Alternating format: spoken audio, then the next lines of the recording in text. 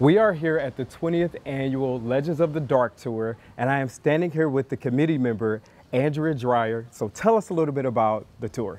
Um, so Legends of the Dark, we're in our 20th year, so that's really exciting. Um, what that is, is it's a haunted campus tour. There's 13 different stops around campus. Um, we have different CMU ghost stories associated with each area, so that's pretty cool. It's a really easy way for people to get volunteer hours if they need to, get in the Halloween spirit, um, and it's a good way to raise money for Trout Hall's philanthropies.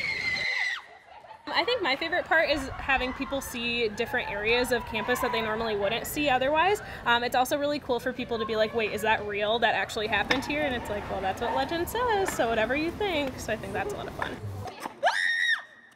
I really like how it brings um, the campus together. Like halls will come as floors. Like we just had Sweeney second floor come through, and like sororities will come, and like people from Mount Pleasant High School just came, and just like Mount Pleasant community members will come, like families. How spooky is this tour from one being eh, and 10 being oh yeah? Okay, if I was comparing it to like a real haunted house, I'd give it like a five.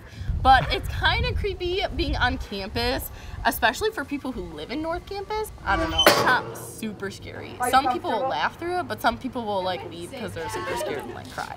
It's more like jump out scary than like stick with you scary.